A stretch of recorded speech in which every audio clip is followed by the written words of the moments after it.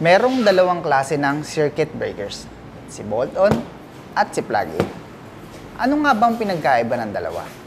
Si plug-in ay napakadaling ikabit dahil sa easy mount design nito.